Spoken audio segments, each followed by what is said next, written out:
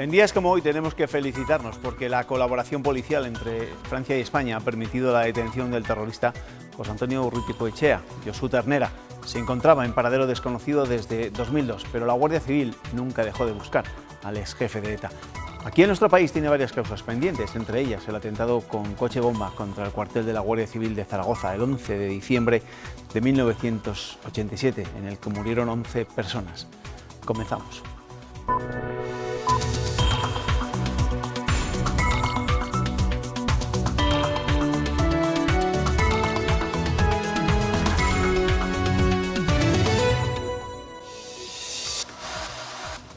El protagonista de nuestra imagen del día es Josu Ternera, pero los protagonistas de la noticia son los agentes que han detenido al terrorista en su retiro de los Alpes franceses.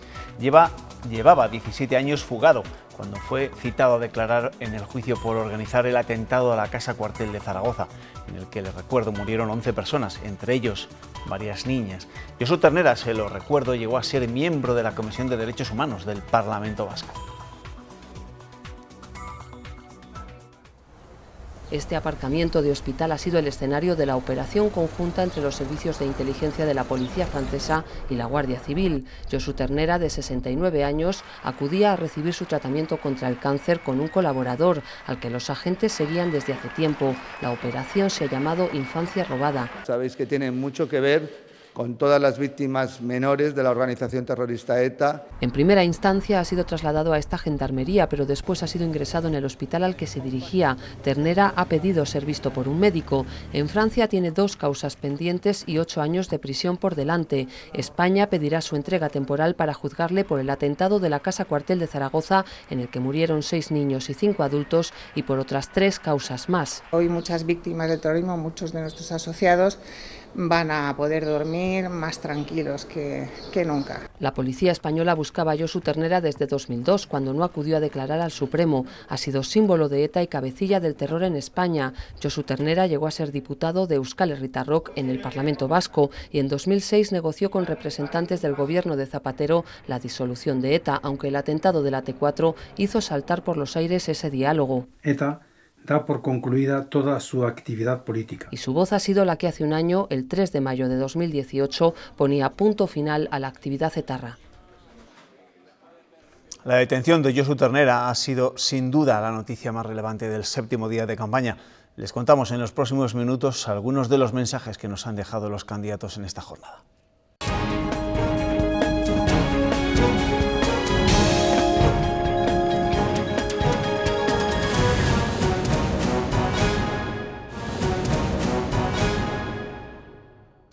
El candidato del Partido Popular a la presidencia de la Junta ha terminado este séptimo día de campaña en casa, con un acto público en Salamanca. Alfonso Fernández Mañueco ha vuelto a hablar del posible pacto entre Ciudadanos y el PSOE tras las elecciones del 26 de mayo. Leticia Sánchez.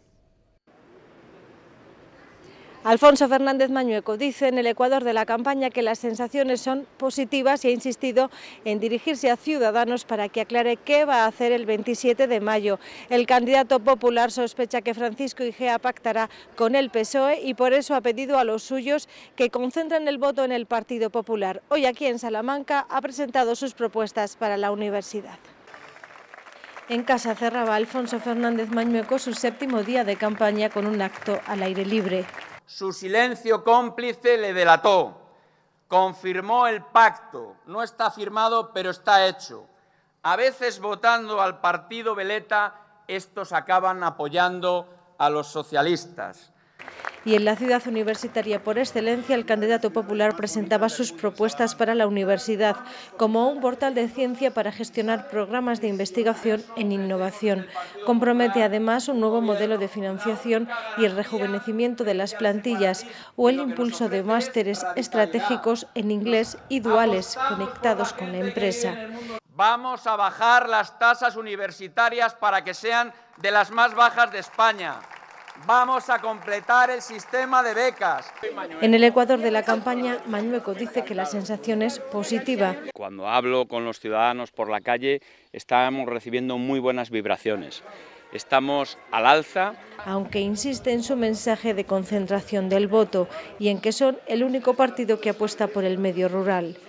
Ha visitado este jueves una explotación ganadera y una empresa del metal que desde Toral de los Guzmanes exportan su producción a distintos países del mundo. Desde el mundo rural se puede competir, hay futuro y podemos atraer nuevas eh, personas para venir aquí. Lo que hay que hacer es creer en el mundo rural. Ha pedido al consejero de Sanidad que se explique y se investigue qué sucedió con las oposiciones de enfermería el pasado domingo. Aquello que hemos hecho bien hay que sentirse orgulloso de ello y aquello que tenemos que mejorar, pues el Partido Popular de Castilla y León presenta un proyecto renovado precisamente para mejorar allí donde todos tenemos claro que es posible mejorar. Mañueco dice que hay que esperar resultados, pero sí reconoce que hay ya más de un problema con las convocatorias y hay margen de mejora. Pablo Casado ha participado en sendos actos del PP en Cantabria y en Asturias. El presidente de los populares ha cargado contra el gobierno de Pedro Sánchez por sus planes sobre la transición ecológica que dice que dan la puntilla a las centrales térmicas y a la minería del carbón al anticipar los objetivos de reducción de emisiones pactados con la Unión Europea. Además, Casado ha insistido en que el PP debe concentrar el voto de centro derecha para que haya una alternativa fuerte. ¿Por qué tienen que sufrir las electrointensivas que nos hagamos los muy ecologistas, anticipando los plazos de cierre de estas centrales o poniendo ya la puntilla al sector del carbón? Porque si ya estaba acordado, ¿qué necesidad había de hacerlo? Ya somos mayoría social. Lo que tenemos que ser es mayoría electoral, porque la división ha lastrado esa alternativa, porque la división no ha permitido la alternancia, tal y como veníamos diciendo. La lucha contra la despoblación es el eje vertebrador de la caravana socialista que hoy hace noche en Soria. Carmen Ibáñez está allí, cuéntanos. Y uno de los pilares de la política para mantener población se basa en mejorar los servicios públicos, empezando por la sanidad, para la que Luis Tudanca propone un modelo basado en una atención primaria fuerte, que gestione el 25% del presupuesto total sanitario con más medios materiales y más formación para los profesionales. Una atención sanitaria que llegue a todos los rincones del medio rural. La ruta de hoy le ofrecía argumentos al candidato del Partido Socialista. No se pueden imaginar la emoción que he sentido también ahora cuando venía viendo las casetas, los peajes de la autopista demolidos, piedra sobre piedra en el suelo de una autovía que hoy por fin es libre, también gracias a un gobierno socialista. Este es nuestro aval. Ya en Briviesca ha criticado la gestión de la Junta de Castilla y León, cuestionada, dice, por los tribunales. La última sentencia de ayer tumba un decreto que permitía implantar ganaderías intensivas sin declaración previa de impacto ambiental. Es un desastre. Es que el Partido Popular no solo no tiene proyecto, es que además no saben, no saben hacerlo. Es que los tribunales les están dando varapalo tras varapalo. El acto grande ha tenido lugar en Soria Capital, donde ha desarrollado su política sanitaria basada en una atención primaria más fuerte. Vamos a relanzar la atención primaria en el medio rural Vamos a hacer que haya incentivos para los médicos, para que haya más profesionales, para que haya más profesionales de enfermería en los pueblos, para que haya pediatras, para que quien vive en el medio rural tenga una sanidad digna. Modernizar la atención con consultas no presenciales y seguimiento telefónico, impulsar los cuidados paliativos o imponer plazos máximos de espera que en el caso de la cirugía, por ejemplo, no superen los tres meses, son solo algunas de las medidas. El ministro de Fomento en Funciones ha asegurado en Miranda de Ebro, en Burgos, que trabajará para que la ciudad esté conectada con Madrid a través de la alta velocidad en 2020. Servicio, ¿eh? las obras están a punto, luego entrará la fase de pruebas.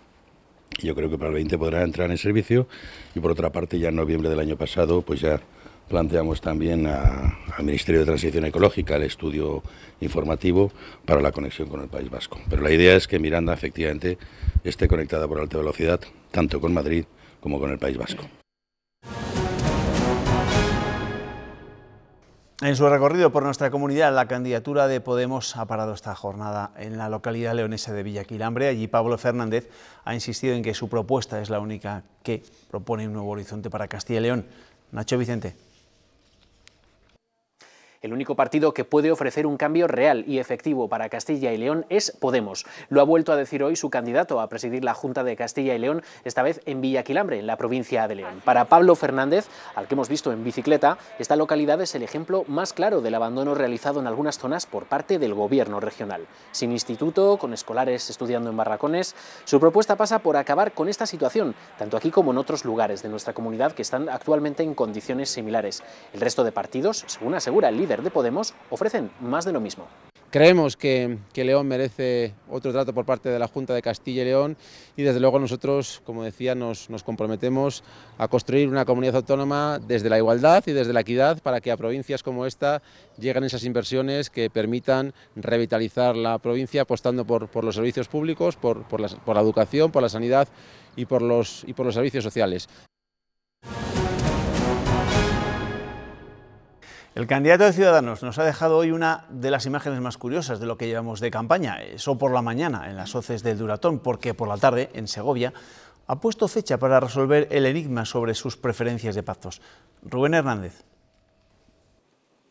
La provincia de Segovia ha sido la elegida este jueves por la caravana electoral de Ciudadanos. Allí, el candidato naranja nos ha ofrecido una imagen muy distinta a la habitual. Esta, con zapatillas deportivas y con vaqueros, Francisco Igea se ha subido una piragua y ha recorrido las hoces del río Turatón. Lo ha hecho para recordar el potencial que tiene Castilla y León en turismo de deportes y de medio ambiente. Ya por la tarde, con Americana, eso sí, a Igea se le ha vuelto a preguntar sobre sus preferencias para pactar y ha respondido así en el próximo debate algunas preguntas que se nos repiten insistentemente van a quedar aclaradas, porque a nosotros se nos preguntan muchas cosas a lo largo de esta campaña, habitualmente la misma de manera reiterada, y yo les aseguro que eso quedará claro y meridiano en el próximo debate. En Valladolid esta tarde José Sarrión ha intervenido en un acto junto a Alberto Garzón.